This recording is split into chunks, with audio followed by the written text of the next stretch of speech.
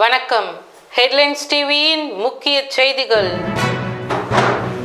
சந்தவேலூர் குடியிருப்புகளை சுற்றி தேங்கி நிற்கும் கழிவு நீர். வேளாங்கண்ணி நகர் மக்கள் அவதி. சத்துணவு மற்றும் அங்கன்வாடி ஓய்வூதியர்கள் ஆர்ப்பாட்டம். மணப்பாறை அருகே சோளத்தட்டையில் பற்றி எறிந்த தீயை கண்டு பதறிய மக்கள். கிராம மக்கள் ஒன்று கூடி தீயை அணைக்க கடும் போராட்டம். இன்று முதல் தாம்பரத்திலிருந்து கொல்லம் செல்லும் விரைவு ரயில் இயக்கம். இனி விரிவான செய்திகளை பார்க்கலாம். சந்தவேலூர் குடியிருப்புகளை சுற்றி தேங்கி நிற்கும் கழிவு நீர். வேளாங்கண்ணி நகர் மக்கள் அவதி. ஸ்ரீபெருமந்தூர் அடுத்த சந்தவேலூர் ஊராட்சிக்குட்பட்ட அன்னை வேளாங்கண்ணி நகர் பகுதியில் குடியிருப்புகளை சுற்றி தேங்கி நிற்கும் மழைநீர் மற்றும் கழிவு நீரால் அப்பகுதி பொதுமக்களுக்கு சுகாதார சீர்கேடு ஏற்படும் அபாயம் ஏற்பட்டுள்ளது. காஞ்சிபுரம் மாவட்டம் ஸ்ரீபெருமந்தூர் ஒன்றியம் சந்தவேலூர் ஊராட்சிக்குட்பட்ட அன்னை வேளாங்கண்ணி நகர் பகுதியில் உள்ள முதல் தெரு விவேகானந்தர் தெரு பாரதியார் தெரு ஆகிய பகுதிகளில் சுமார் எண்ணூறுக்கும் மேற்பட்ட வீடுகளில் சுமார் மூன்றாயிரத்துக்கும் மேற்பட்ட பொதுமக்கள் வசித்து வருகின்றனர். இந்த நிலையில் வேளாங்கண்ணி நகர் பகுதிக்குட்பட்ட தெருக்களில் முறையாக ஊராட்சி நிர்வாகத்தின் சார்பாக தெருச்சாலை மற்றும் கழிவுநீர் கால்வாய் அமைக்கப்படாததால் விவேகானந்தர் தெரு சாலையில் மழைநீரும் முதல் தெரு சாலையில் கழிவுநீரும் தேங்கி நிற்கிறது.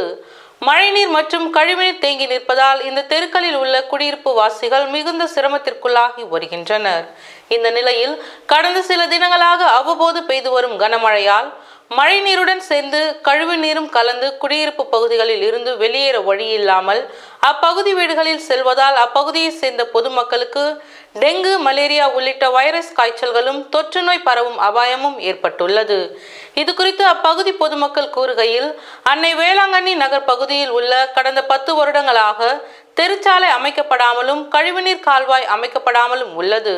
மேலும் கழிவுநீர் செல்லும் வழியை தனியார் ஒருவர் அடைத்து விட்டதால் தற்போது கழிவுநீர் வெளியேற வழி இல்லாமல் தெருவிலேயே தேங்கி நிற்கிறது. இதனால் மழை பெய்யும் நேரங்களில் மழை நீருடன் கழிவு நீரும் சேர்ந்து வீடுகளுக்கு வந்து விடுகிறது. இதனால் நாங்கள் மிகுந்த சிரமத்திற்குள்ளாகி வருகிறோம். இப்பகுதியில் தெருச்சாலை அமைக்கவும் கழிவுநீர் கால்வாய் அமைக்கவும் பலமுறை மாவட்ட ஆட்சியருக்கும் வட்டார வளர்ச்சி அலுவலர் மற்றும் ஊராட்சி நிர்வாகத்திற்கும் தகவல் தெரிவித்தும் நடவடிக்கை எடுக்கவில்லை. எனவே மழைக்காலம் தொடங்குவதற்குள் எங்கள் பகுதியில் கழிவுநீர் கால்வாய் மற்றும் மாவட்ட நிர்வாகம் நடவடிக்கை எடுக்க வேண்டும் என்று கூறினர். வீட்டுமனை பட்டா முதியோர் ஓய்வூதியம் உள்ளிட்ட பல்வேறு கோரிக்கைகளை வலியுறுத்தி விவசாய தொழிலாளர்கள் சங்கம் சார்பில் ஆர்ப்பாட்டம். காஞ்சிபுரம் வட்டாட்சியர் அலுவலகம் எதிரில் அகில இந்திய விவசாய தொழிலாளர்கள் சங்கம் சார்பில் ஆர்ப்பாட்டம் நடைபெற்றது. இதில் ஆறுமுகம் தலைமையில் குடிமனை பட்டா முதியோர் உதவித்தொகை மற்றும் ஆதரவற்ற விதவை மற்றும் மாற்றுத்திறனாளிகளுக்கு ஓய்வூதியம் வழங்க கோரி கோஷங்களும் எழுப்பப்பட்டது. இதில் லாரன்ஸ் பாஸ்கர் உள்ளிட்டோர் பலர் கலந்து கொண்டனர். இந்த போராட்டத்திற்கு அரசு செவிசாய்க்காவிட்டால் தமிழக அளவில் விவசாயிகளை திரட்டி மிகப்பெரிய போராட்டம் நடைபெறும் எனவும் தெரிவித்தனர். அகில இந்திய விவசாய தொழிலாளர் சங்கம் காஞ்சிபுரம் வட்டக்குழுவின் சார்பாக காஞ்சிபுரம் வட்டாட்சியர் அலுவலகம் முன்பு இன்றைய தினம் குடிமனை பட்டா கேட்டும் முதியோர் மாற்றுத்திறனாளி உள்ளிட்ட உள்ளிட்டவர்களுக்கு ஓய்வூதியம் கேட்டும் வீடற்றவர்களுக்கு வீடு கேட்டும். அகில இந்திய தமிழ்நாடு ஊரக வளர்ச்சித்துறை அலுவலக சங்கம் சார்பில் இருபத்தி ஆறு அம்ச கோரிக்கைகளை வலியுறுத்தி திருவாரூர் மாவட்ட ஆட்சியர் அலுவலக வளாகம் முன்பு ஆர்ப்பாட்டம். திருவாரூர் மாவட்ட ஆட்சியர் வளாகத்தில் தமிழ்நாடு ஊரக வளர்ச்சித்துறை அலுவலக சங்க மாவட்ட தலைவர் தர்மலிங்கம் தலைமையில் நடைபெற்ற ஆர்ப்பாட்டத்தில் மாநில தலைமை ஒருங்கிணைப்பாளர் தர்மராஜா கண்டன உரையாற்றினார். ஊராட்சி செயலாளர்களுக்கு பதிவுறு எழுத்தருக்கு இணையான ஊதியம் வழங்க அரசாணை வெளியீடு சாலை ஆய்வாளர்களுக்கு பதவி உயர்வு வழங்கீடு உள்ளாட்சி தேர்தலை உடனே நடத்தீடு உள்ளிட்ட இருபத்தி ஆறு அம்ச கோரிக்கைகளை வலியுறுத்தி ஆர்ப்பாட்டம் நடைபெற்றது. மாவட்ட தலைநகரங்களில் மாநிலம் தழுவிய போராட்டமாக நடைபெற்று வரும் இந்த ஆர்ப்பாட்டத்தில் திருவாரூர் மாவட்ட ஆட்சியர் அலுவலக வளாகத்தில் அறைகளை பூட்டி போராட்டம் நடைபெற்றது.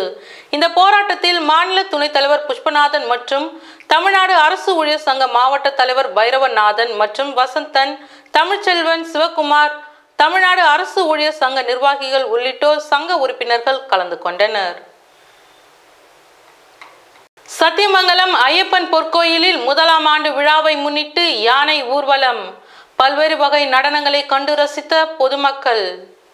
ஈரோடு மாவட்டம் சத்தியமங்கலத்தில் உள்ள பவானி ஆற்றங்கரையில் கடந்த ஆண்டு புதியதாக ஐயப்பன் பொற்கோயில் கட்டப்பட்டு கும்பாபிஷேகம் நடைபெற்றது.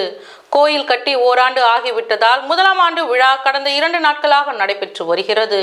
விழாவையொட்டி தினமும் சிறப்பு பூஜைகள் நடைபெற்று வந்த நிலையில் இன்று மூன்று யானைகள் அணிவகுத்து வந்து ஊர்வலம் நடைபெற்றது. முன்னதாக அலங்கரிக்கப்பட்ட யானைகள் ஊர்வலம் சத்தியமங்கலம் எஸ்ஆர்டி கார்னரில் தொடங்கி ரங்கசமுத்திரம் பஸ் நிலையம் ஆற்றுப்பாலம் மணிக்கூண்டு கடைவீதி வழியாக கோவிலை சென்றடைந்தது. கேரள சண்டை மேளம் முழங்க நடைபெற்ற இந்த ஊர்வலத்தில் பல்வேறு வகையான நடன குழுக்கள் நடனமாடியபடி ஊர்வலமாக சென்றதை வழிநடிகளும் பொதுமக்கள் கண்டு ரசித்தனர். மணப்பாறை அருகே சோளத்தட்டையில் பற்றி எறிந்த தீயை கண்டு பதறிய மக்கள் கிராம மக்கள் ஒன்று கூடி தீயை அணைக்க கடும் போராட்டம். திருச்சி மாவட்டம் மணப்பாறை அடுத்த ஓந்தாம்பட்டியை சேர்ந்தவர் தங்கவேல். விவசாயியான இவர் வீட்டின் முன் சோளத்தட்டைகளை குவித்து வைத்திருந்தார். மாட்டு தீவனமான சோளத்தட்டையில் இருந்து புகை கிளம்பியதை அடுத்து அதிர்ச்சியடைந்து அருகில் சென்று பார்த்தபோது தீ மலமளவென பற்றி எரிந்தது.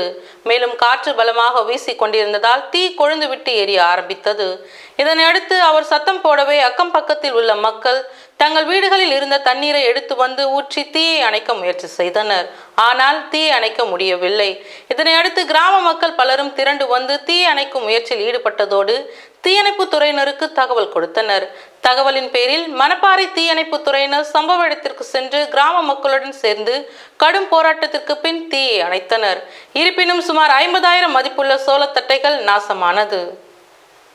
இன்று முதல் தாம்பரத்திலிருந்து கொல்லம் செல்லும் விரைவு ரயில் இயக்கம். தென்னக ரயில்வே சார்பில் இன்று முதல் சென்னை தாம்பரத்தில் இருந்து கொல்லத்திற்கு சிறப்பு கட்டண ரயில் இயக்கப்படுவதாக அறிவிக்கப்பட்டு உள்ளது இதனால் செங்கோட்டை புனலூர் இடையே பத்து ஆண்டுகளுக்கு பிறகு இன்று ரயில்வே சேவை தொடங்கப்படுவதால் பயணிகள் மகிழ்ச்சி அடைந்துள்ளனர். இன்று மாலை ஐந்து முப்பது மணிக்கு தாம்பரம் ரயில் நிலையத்தில் இருந்து இந்த ரயில் புறப்படுகிறது.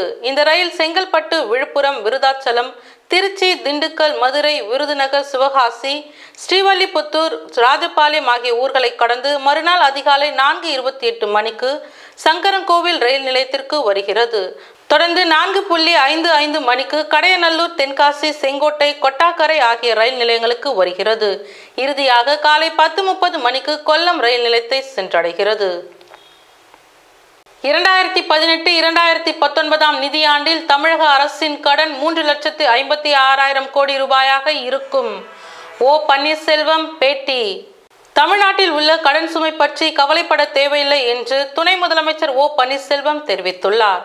சட்டப்பேரவையில் நிதித்துறை மானிய கோரிக்கை மீதான விவாதத்தின் போது திமுக உறுப்பினர் கே என் நேரு தமிழக அரசின் கடன் சுமை ஆண்டுதோறும் அதிகரித்து வருவதாக குறிப்பிட்டிருந்தார்.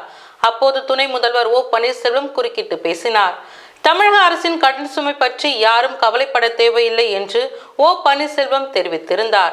பொதுவாகவே உலக அளவில் பல்வேறு நாடுகளும் மத்திய அரசும் மாநில அரசுகளும் ஆண்டுதோறும் கடன் பெறுவதும் பெற்ற கடன்களை அரசு பணிகளுக்கு பயன்படுத்துவதும் நடைமுறையில் உள்ளதுதான். நடப்பாண்டின் இறுதியில் தமிழக அரசின் மொத்த நிலுவையின் கடன் மூன்று லட்சத்து பன்னிரெண்டாயிரம் கோடியாக இருந்தது என்றும் இரண்டாயிரத்தி பதினெட்டு இரண்டாயிரத்தி பத்தொன்பதாம் நிதியாண்டில் இது மூன்று லட்சத்து ஐம்பத்தி ஆறாயிரம் கோடி ரூபாயாக இருக்கும் என்றும் கணிக்கப்பட்டுள்ளதாக தெரிவித்திருந்தார். தமிழக அரசு பெற்றுள்ள கடனை திரும்ப செலுத்தும் அளவிற்கான சக்தி உள்ளதாக துணை முதலமைச்சர் ஓ பன்னீர்செல்வம் கூறினார்.